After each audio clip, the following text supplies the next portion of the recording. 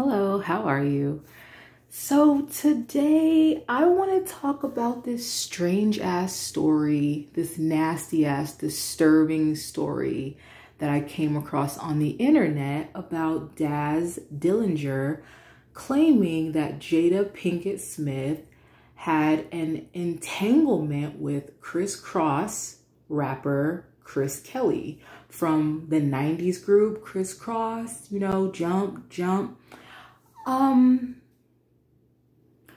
so I feel like we always talk about men taking advantage of women, but we kind of just leave it alone. We don't want to talk about women take advantage of men.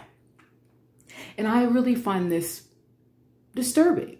It's disturbing because no matter male or female, if they're being having their lives disrupted by a nasty ass adult, then they should just be handled. The situation be, should be handled.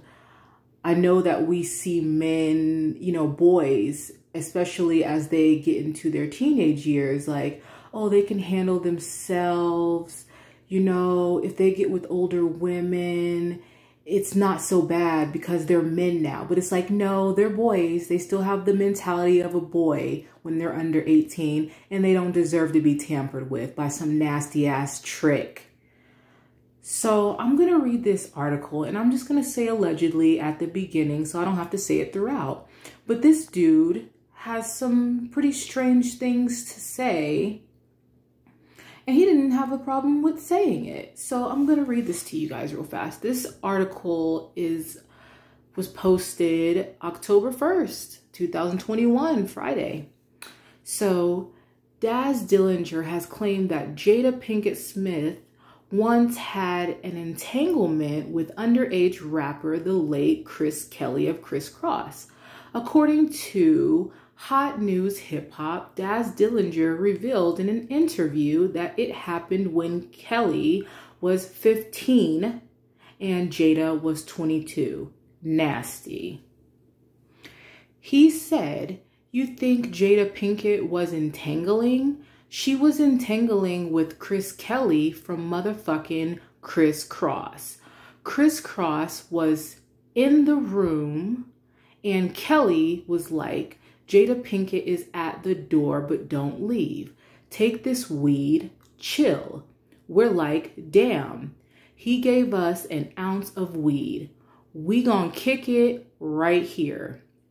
Then he came back in and said, yeah, that was Jada Pinkett. I'm like, damn, that's Jada Pinkett at a young age? 1993, around that way. She was entangling then. Shout out to Jada. No, no shout out to Jada. Jada doesn't get a motherfucking shout out if she was sleeping with a 15 year old when she was 22. That's nasty and that's trifling. And you can't give nobody no high fives. You don't get no motherfucking kudos when you are grown ass person sleeping with an underage kid. I don't give a fuck. I don't give a flying fuck. How famous he was, if he was rich at that time, he was 15 straight up, it's straight up like that. He was under 18 and your trifling ass called yourself trying to get with a 15 year old. That's nasty. Kelly died in 2013 from an overdose at 34.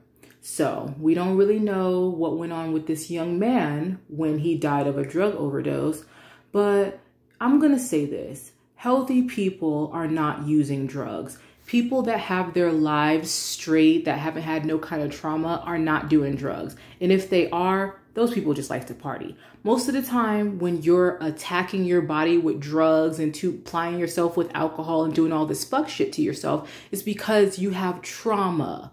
I can't say that for everybody, but for the most part, if you're doing unhealthy things to yourself, it's because you have trauma. Now, if this trifling heifer was in fact messing with him at 15, she contributed to his trauma along with the industry and whatever happened to him there. Because we know a lot of fuck shit goes on in Hollywood to these young people. And then we pretend like we didn't know about it. It's a running joke as if we should be joking about it. Meanwhile, these people are having hard ass lives and not wanting to live because an array of people let them be abused and didn't say shit about it. I'm fucking over it. So let me just leave you with these last things. Men can be abused. Men can be sexually attacked these things can happen to men, especially young boys that think that this woman likes me and she's older, it's a good look. They can be abused as well. So let's stop playing these games. And all of you nasty, trifling bitches out there that love to interact with underage age people, you need your fucking asses whooped.